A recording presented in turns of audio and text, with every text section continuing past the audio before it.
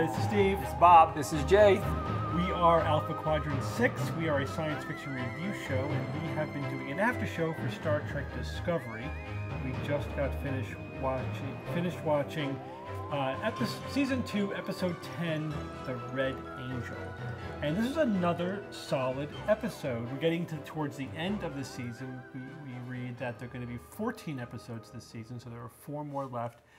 And last episode was really, I think, the best episode of the season. Still, doubt. yeah, it was, it was very, very uh, a touching episode um, where we lost a major character, Airiam. Airiam, yeah, and it was it was good. She sacrificed herself. It was a, it was a good death. And and now, but we still there's a lot of plot unresolved, and we moved the ball forward in this episode. So I'm liking it. I think this is you know there was some you know concern uh, that. Well, before you go into that, my Yeah, for me ahead. it started low. It started low because you had a you had a kind of a moving funeral for Airiam, Mm-hmm. and I all I could think of the entire time was, you know, I'd really be a little bit more upset if they had developed her character even a little bit Yeah. more. Yeah, we talked You about know? that last week. Right, and but it, it even struck home again this time. They didn't Yeah. need they didn't need to do the, the big elaborate funeral. She wasn't like a, a Saru or or, or a, a Michael level character that died. This is somebody that we she got was to for know. the crew, just wasn't for the audience. Right, right, true. And that's I agree. So I think that one of the strengths of other Star Trek series is that you have an ensemble cast. You know, you, you Mm-hmm. know all of the crew. Uh, and here they, you know, the, the Michael Burnham character really carried the first season, you know, and, and Captain Lorca and, and, and Saru, you know, a couple other characters are being developed, but really the people that you're seeing every day on the bridge, you don't know who they are. Yeah. And you don't really, you know. It almost like they retconned it a little bit. Like, yeah. Yeah. like th- they were they were playing it like we knew that they had this close relationship, and like Yeah, you're it was- sitting there going like you didn't give it, to me there. in the Yeah. earlier episodes. But I just get the sense that this was an artifact of writing, Mm-hmm. meaning like hey, we need to. This would be a good time to sacrifice a character. And they didn't have the back catalog Yeah. of, of stuff there to, to support it. But, you know, I mean, you can give them an out. But they do need, I think, moving forward, the rest of this season, and definitely the you know season three, which I think is going to happen. They need to develop those secondary characters better. They need to be at the level of like Sulu and Chekov, where you know them by name and they have a personality and they have relationships Yeah. and interact. You know, Yeah. they really they need to flesh out, you know, these characters. Um, otherwise, I think it's that's something that's still a little bit missing. I think this just highlights it. They needed to kill off a character that we cared about, and they didn't really have anybody. Yeah. So they had to sort of like quickly develop it in order to make that happen. Yeah, and Jay, I'm not buying that uh, they they kind of retconned it and, and they realized later in the game. I remember in season one they were talking about yeah, there's going to be um, they're going to do a show with Airiam. Airiam's going to be the focus of a Yeah. show. So they, and they so they knew this a year ago. So I'm not. But so I'm still not, they I'm didn't- not- they I'm didn't right. I'm still it well not enough. buying that. I'm not buying it. I mean, they could have maybe they did write some scenes to, to show that- that she actually has friendships. Um, but they're like, oh, these has to go, that has to go because because other more important plot. But Yeah. I think they're but wait a waiting minute, for it. bad We're choices. for it We're on cable here. The show could be 40 minutes. It could be 50 minutes. It doesn't Well, matter. who, who knows? Mm-hmm. Yeah, that's true.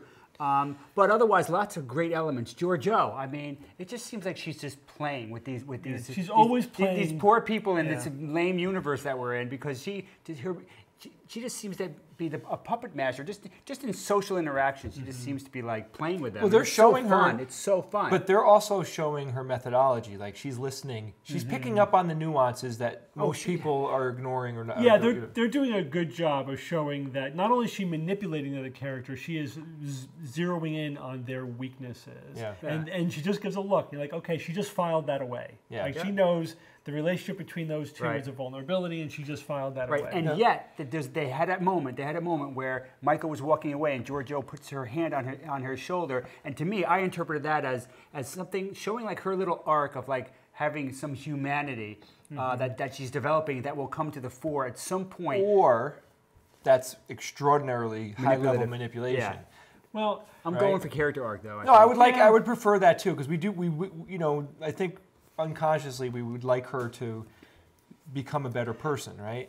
But I mean, I I think it, it it's I think they're setting it up for future plot with her. Obviously, Yeah. I mean they're they're well, she's just got a series by a spin-off by you know Yeah. for uh, by Yeah. herself, you know, right. featuring her. So, but this is I think one of the main themes that they're developing in this season, which I think is good, and that is you know having to make tough choices. Yeah. Uh, like so, the whole plot of Section Thirty One. It's like all right, what is the character of the Federation, and how much do you are you willing to sacrifice your morals for To get- to get the job to done, yeah, survive? yeah. Sometimes it's survival. Like the galaxy's at stake. What are we willing to sacrifice? That's kind of the whole idea behind Section 31, and Right. that should create some tough moral choices for Yeah. our characters. And I, I think they're doing that. Some people, this is what I was alluding to before, were concerned that by making the big bad guy an AI from the future, while that's kind of a neat science fiction plot line, it took a little bit of away, a, a little bit away of this sort of moral conflict that they were having. Mm-hmm. But I think in light of this episode, I think it's okay. I think they sort of brought that back. Saying, no, we actually didn't get derailed from that. They really, this episode, I think more than any one this season, focused in on this conflict with Ash. Yeah. Like, Ash, are you Section 31 or are you Federation? Yeah. We are making your choices there, right? Uh, with, I think, Georgiou, you know, the, her whole character is how much of her personality was just a survival reaction to living in the mirror universe and how much of it is really her and is she going to adapt to the federation or maybe not we don't know She might really love that. Love. She might enjoy being a manipulator.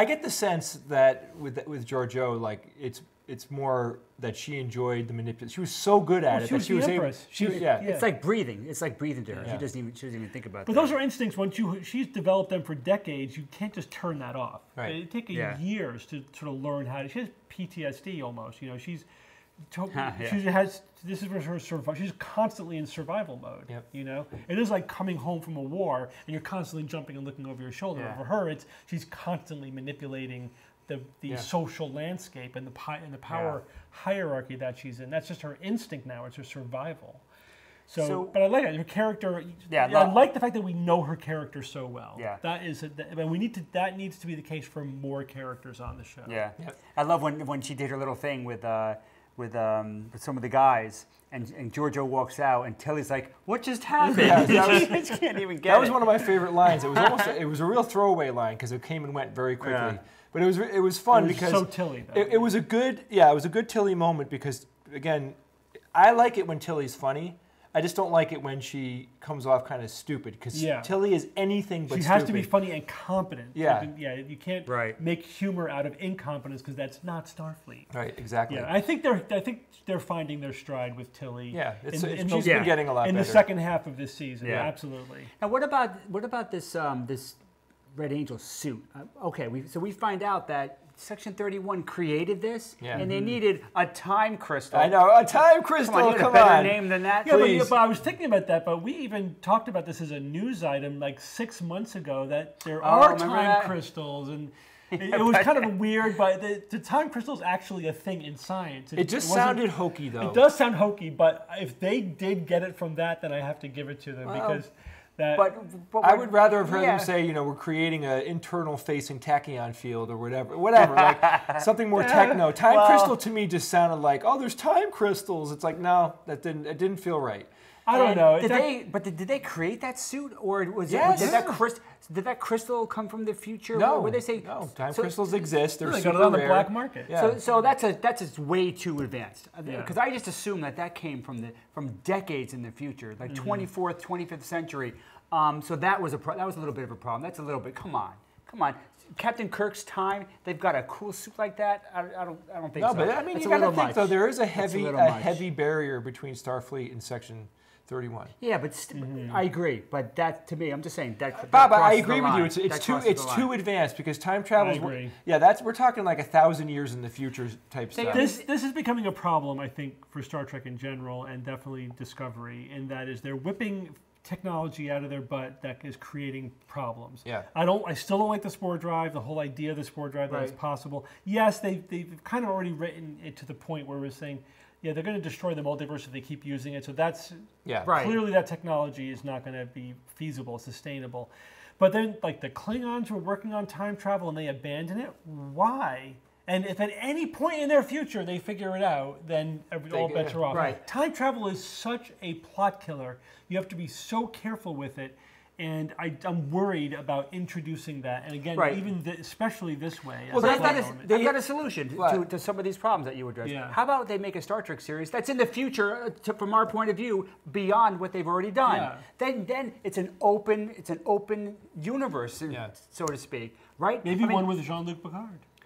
Well, That right. will be- that Yes, will be the most That will ad- be. That's fine. Then you can you can introduce time. new aliens, new technologies. You know, going back and trying to s- shoehorn these plots of this technology into a time period that's Mm-hmm. Yeah, but I don't already. time travel. And I just don't. Yeah, time, time travel travel, is like you, you you should pull that out. Like time gotta be travel should rare be and used quirky. super rare. Right. Like it, it, it sure, really once is. in a while, it's I love it. it's, great if become it's a science well. fiction mainstay though, and that's one of the problems. Is first off, I'm bored with it. I don't. Mm-hmm. Time travel doesn't jazz me anymore. I, mean, It's got to be super special. I remember when it, yeah. when when in, in what was it Star Trek Five, The Return Home or whatever with the whales. Mm-hmm. Yeah. And they time travel. I remember then I was like, oh, I don't know if they should be doing a time travel thing. That's like really pushing it. You know, don't you think? right. You know, because they didn't just accidentally go back in time. They went back in time, and then when precision came forward in time, back to the, you know, it's like that's Yeah. too. Yeah. Well, going forward in time is not a problem. Yeah. it's just time dilation. That's not an issue. Yeah, you could use your Yeah. sublight engines to do that.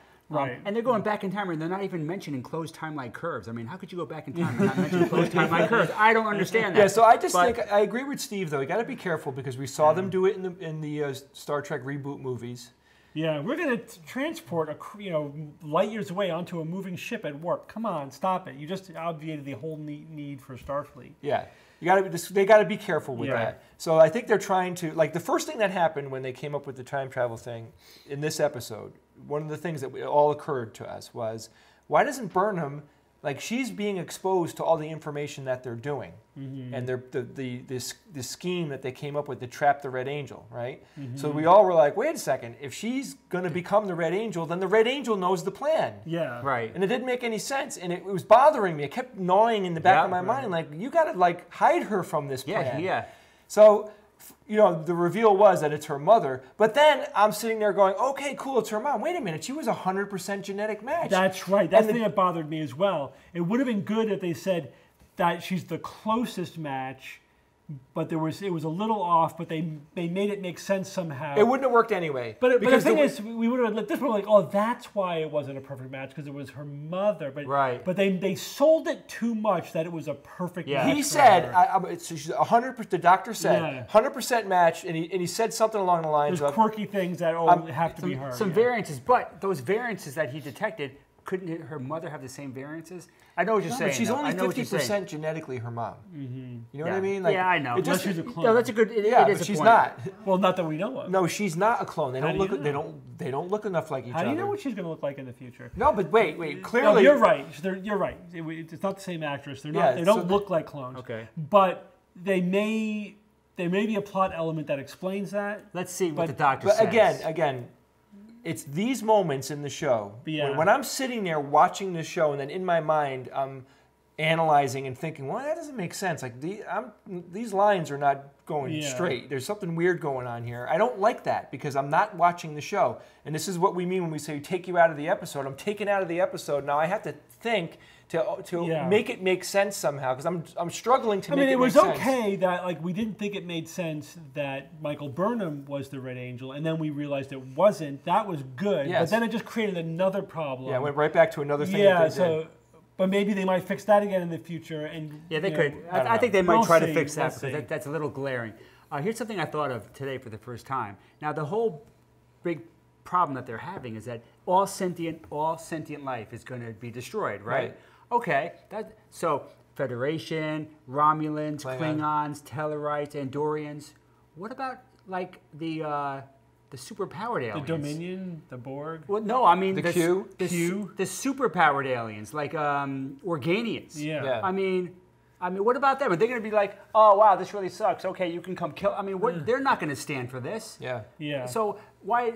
I don't know. It just it just occurred to me. I know it is a little weird because it's a little too whitewashy of a, Well, of a plot line. That's know? why it's a problem when you when your plot line is we have an enemy that's Yes. going to destroy the galaxy. right. Or you make the stakes too high, you run into all kinds of Right. problems like that. They should say we're going to kill all humanoid life. That at least would, would be a subset. You know, they're- they're- or just even just Earth. They you know? need they need a and these people exist. They need someone who is a, a, a legit scientist, like a like a hmm. physicist, who is also a fanatical science fiction fan? They've fan. got that. They Right, that They I- have but- consultants. but Where, where am They I do. going with this? How could a legit consultant have missed these these plot points and been like, you know, like because they don't always listen to them. Yeah, They the writers go, yeah, them. but this is good, good storytelling. we need to do this anyway. No one's going to notice that. You're you're too Yeah, but picayune. the- But but Only the gonna say, nerds are going to complain about that, right?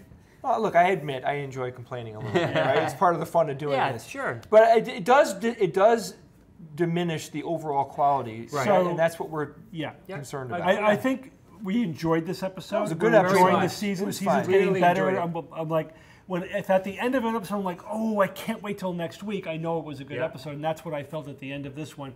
But what the things that we're talking about are keeping this series from being Epic. great. Yeah. Like And- Game and- of Thrones. Yeah, class. we, Yes. we want it to go to that level, and it can't go. It's so close. Yeah, it it's getting- it it's just getting- needs like another layer where they just fix these little problems, and then you know it will be Game of Thrones level where we, where it just Right, because imagine if those two park. those two oddities, the few oddities that we picked up that Yeah. we just discussed, if they weren't in the episode, what would we be talking about right now? We would be talking about the, the show and the character. Like I want to talk about how cool Spock was holding a phaser on those guys. that was a good moment. Right, like that. But that's what we should Yes. be talking. Those are the things. So let me just say that was good because you bring that up. That was great because again, Yep. I'm thinking so the Red Angel is gonna know that they're gonna save her at the last minute. They have to like really kill her for this to work, and Yeah. then of course Spock figures that out. So I like it when the characters in the show are at Are least smart as as smart you. as, as smart me. They're yeah, yeah, they're not. They're, when they're dumber than you, and when they shouldn't be like Spock, you ha- it's hard to write a character like Spock because he's very intelligent. Yeah. Right, If right. you don't, you have to really think carefully. But you have to, you know, you need smart writers who think a lot in order to make a character seem smarter than the average viewer. Exactly. So in any, in any way, So that was good. yeah, Spock did figure it out. He's like, uh, and he, he knew he had to. he knew it before when he Yeah. went up and said, "I'm going to I'm going to get in trouble for killing another officer." And we called him out on that. Like, wait, no, you're not going to get in trouble. And then he It didn't did. make any sense. think, Oh, you are going to get in beautiful. trouble. And, but it made beautiful. me think though that Burn. See, I, did- I question now. Did Burnham know? She did. She knew. She knew that she had to die. Yeah. So she actually thought, "I'm I'm going to not survive." They this." both knew She it probably without did. having to discuss Right. it with Yeah. each other. And that's why she was so. She said she's afraid, which seemed a little Yeah. bit out of character until you realize that no, she really she's Well, going she to was You die. acting- can't just pretend. You have to actually die. She was acting like she was going to die. She went and talked to Tyler. Mm-hmm. She went and had a heart to heart Yeah, with her right. brother. You know, I love that. And I loved it when she slugged what's his face for her parents. Leland. But and so let's talk about Leland. So Yeah, at because a couple of end- weird things happened. What was that thing that There's a little little plot thread they throw at the end there. Leland is trying to access something to do something that he didn't explain to everybody else, Right. so we don't know what that is. Security buffers or something, right? And and then he gets zapped in the eye. No, it looked like a needle went. Did they Yeah, kill him? Is he or dead? His, laser. didn't his eyes change color? Something was too? ha- something was going on. Yeah. I- Yeah, I don't think he's dead. I think that he got compromised in some way. Yeah. Okay. Or he's he's he's augmented somehow to get that suit because that they want that tech. All right, that tech Maybe. was stolen by Did the he want Klingons. that to? That's a cool idea, Bob. He- right, That that's maybe, what I maybe think. section section thirty-two. Uh, Section I'm sorry, section 30. 31, no, no, 32, no, no, whatever no. it takes. Section 32 is better than section 31. No, maybe section 31, want, um, like their plan all along, and he may have even known Yeah. it. He may have known it because he was always acting weird. The- He has his own agenda. Yeah, he has a lot of and stuff he's going going to take on. that suit, and I predict he's going to die. Georgiou's going to take over. He can- She's going to be. And there's the series. And then there's her series. Bob, That's my prediction. out. Good idea, So, man. but yeah, so he mentioned that he wanted that suit. It was And the suit's going to be He- destroyed. That's why we don't have the tech. Right, right, Yeah. okay. But he wants that suit because that's one of his goals to get it back. You know what 'Cause the Starfleet Klingons needs? stole it, they just- Starfleet needs a, a museum of like retired technology. Oh, there's a spore drive. Oh, we really thought the spore drive was going to be awesome. There's our time travel suit. Yeah, I can't use that anymore because the crystal broke. You know, whatever. Like, Right, couldn't, right. couldn't reproduce that damn crystal. What else? What Um, all right, so this episode to me was a little draggy in the 1st 20 or 30 minutes. I didn't know, feel that. I'm not. Look, I, didn't love it. it either, I love I it when, when there's character development. There was good character development.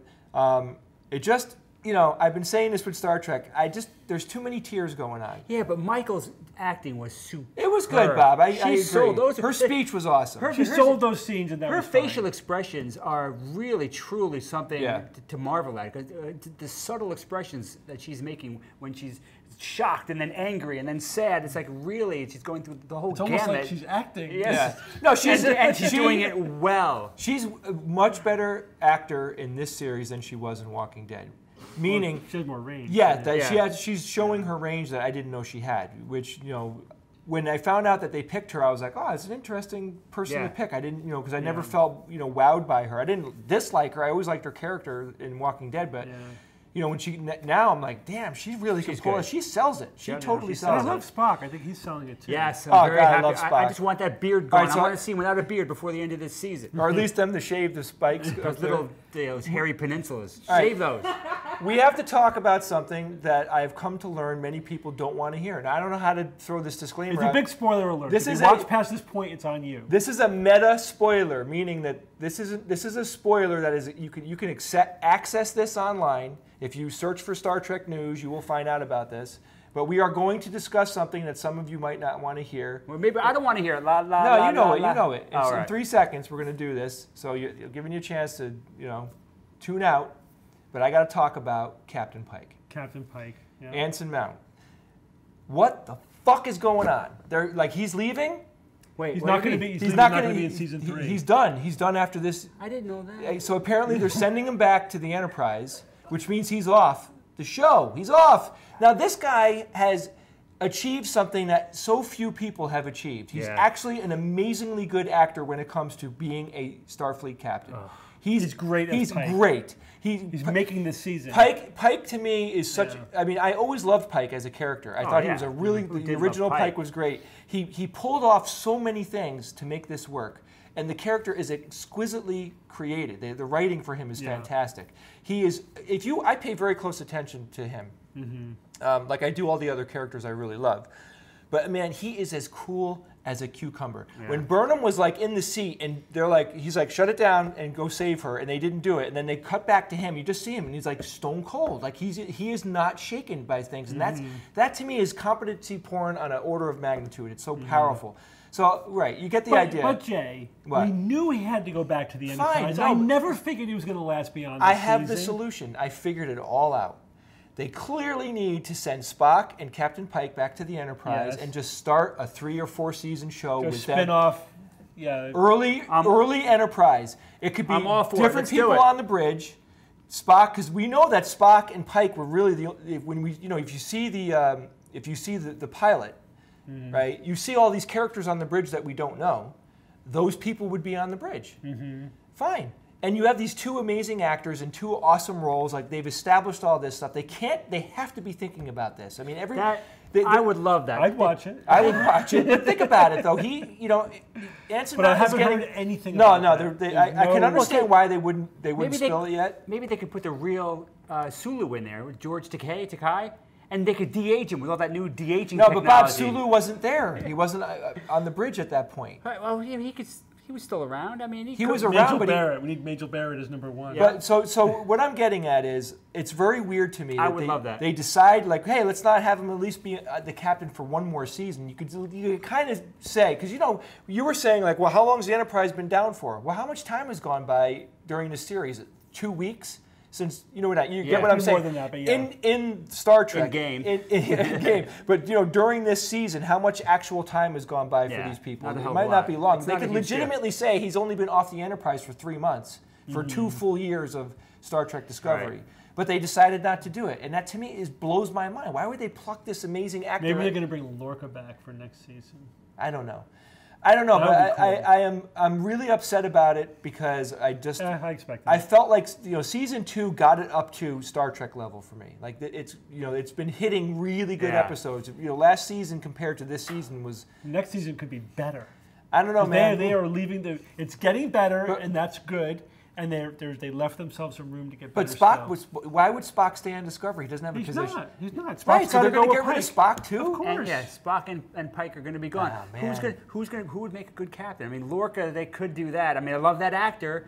They, I could see that one of the last scenes of the last episode of this season Is encountering is, Lor- is Lorca, the the, real- original the Lorca, original not the Lorca. All right, Lorca. whatever. No, the all right with last scene of this season is that Pike and Spock beam over to the Enterprise.